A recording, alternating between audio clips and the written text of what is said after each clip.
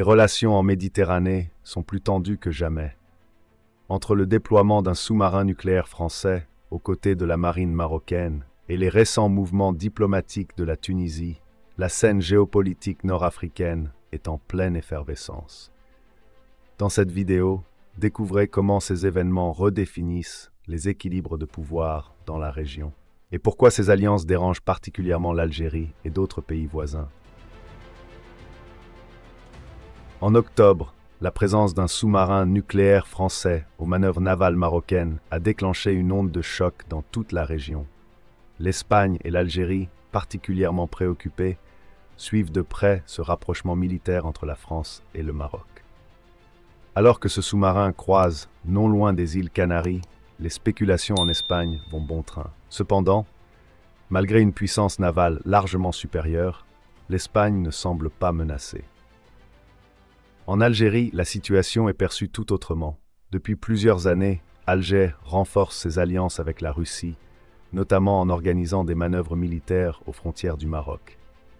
La montée en puissance de la coopération franco-marocaine inquiète Alger, qui voit d'un mauvais œil l'émergence d'une alliance stratégique en Méditerranée.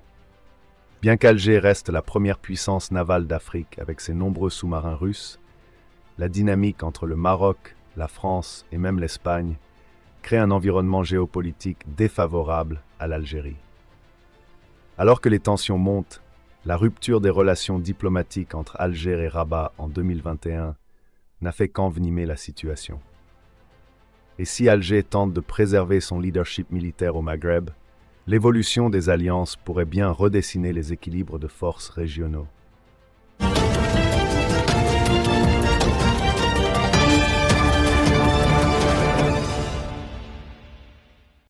Pendant ce temps, la Tunisie fait face à une situation diplomatique délicate avec l'Europe.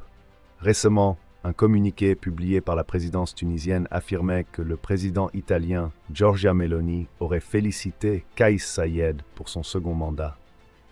Cependant, la réalité est bien différente. En effet, selon des sources italiennes, l'appel entre les deux chefs d'État aurait seulement abordé la coopération migratoire.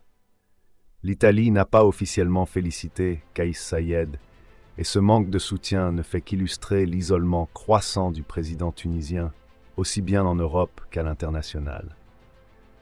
Cet isolement découle des choix politiques de Kaïs Sayed, qui a adopté une position autoritaire avec une rhétorique anti-immigration et des atteintes à la liberté d'expression.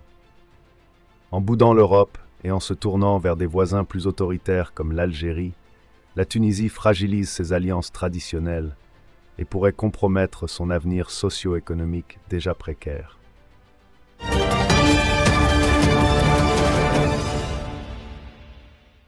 La présence du sous-marin français aux côtés du Maroc et les défis diplomatiques de la Tunisie démontrent combien la situation en Méditerranée est en pleine transformation. Ces alliances et tensions pourraient redessiner la carte des relations dans toute la région. L'Algérie et la Tunisie, isolées sur plusieurs fronts, devront peut-être revoir leur stratégie pour assurer leur place dans cet échiquier complexe. Et vous, qu'en pensez-vous? Ces alliances entre le Maroc, la France et l'Europe annoncent-elles une nouvelle ère pour le Maghreb? Laissez vos avis dans les commentaires et n'oubliez pas de vous abonner pour plus d'actualités géopolitiques. Abonnez-vous à notre chaîne. Cliquez sur la cloche pour rester au courant de l'actualité algérienne.